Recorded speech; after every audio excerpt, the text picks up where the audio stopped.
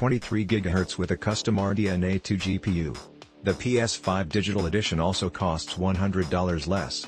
Is there any way to get the PS5 Digital Edition to play discs? While there are external disk drives that can be utilized over USB on the market, the PS5 Digital Edition does not support them.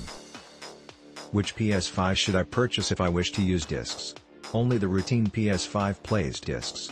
If you have a collection of physical video games, 4K Blu-ray, and DVDs you desire to utilize, you must definitely purchase the standard console. If not, you can save some money and some physical area by choosing the digital edition.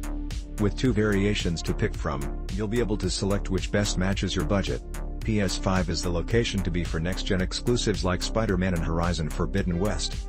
We may earn a commission for purchases using our links. Find out more, we're here to assist you choose. Throughout the holiday of 2020, Sony launched its newest video game consoles, the Play, Station 5 and Play, Station 5 Digital Edition. While both versions of the Play, Station 5 can play PS5 games, there are two significant distinctions between the two consoles that consumers ought to understand about, the cost and the addition, or not, of a disk drive. Thanks for watching. Please subscribe.